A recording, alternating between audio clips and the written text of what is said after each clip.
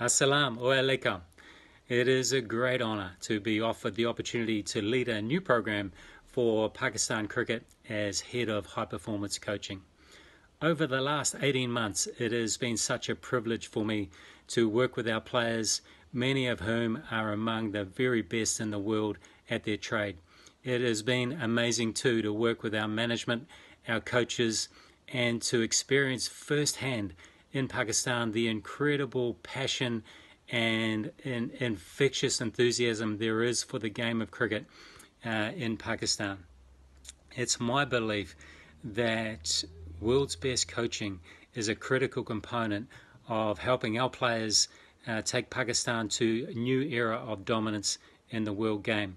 And I'm so looking forward to working with our next group of coaches, our current group of coaches, helping them, inspiring them on their journey to become world's best coaches and helping our players uh, to achieve our objectives.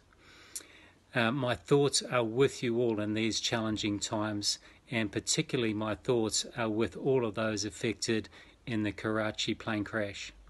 I really look forward to beginning this new role, and I look forward to bringing all my skills and all my experiences to this new era uh, of dominance for Pakistan cricket.